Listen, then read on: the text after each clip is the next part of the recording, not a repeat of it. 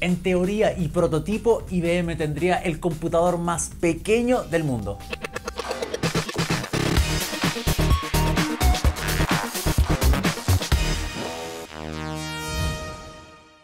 Durante IBM Think 2018, la principal conferencia de IBM, se habría presentado lo que sería el computador más pequeño del mundo.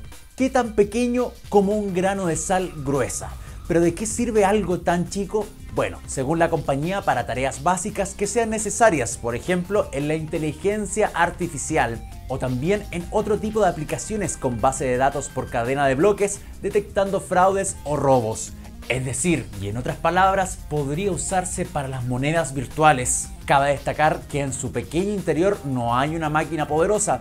IBM indica que sus componentes procesarían como un computador de los años 90, aunque este sería solo el inicio, ya que es una apuesta a que sea una tecnología utilizada en los próximos 5 años que se integrarían a objetos de uso cotidiano. Ojo, este producto es solo un prototipo y no hay una fecha de venta. Mira este y todos los capítulos del Express en ohmygeek.net. Nos vemos.